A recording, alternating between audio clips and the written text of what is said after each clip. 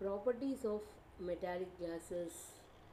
So, the high degree of atomic disorder, the metallic glasses show the unusual and remarkable properties like structural, mechanical, electrical, magnetic, and chemical properties. The first one is the structural properties. So, they do not show any crystal defects such as grain boundaries, dislocation, etc. Then the metallic glasses have a tetrahedral closed packing which is contrast to the HCP that is a hexagonally closed pack of crystalline solid.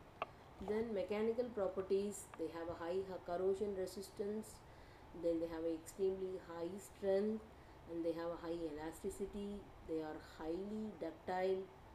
So it is not a work hardening, it is a work softening material and electrical regarding electrical properties the electrical resistivity is very high. So it does not vary with the temperature. And also the temperature coefficient may be even 0 or negative. Due to high resistivity the eddy current loss is very small. Then mechanical properties. The metallic glasses have both soft and hard magnetic properties. So they are magnetically soft at their maximum permeabilities so due to this soft nature, they can be magnetized and demagnetized easily. They exhibit high saturation magnetization. So the core loss of metallic glasses is very less.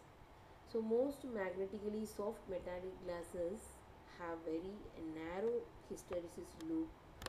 So see the uh, diagrammatic representation, it shows the sum of the metallic glasses or soft magnetic material their hysteresis the area of the hysteresis is very narrow.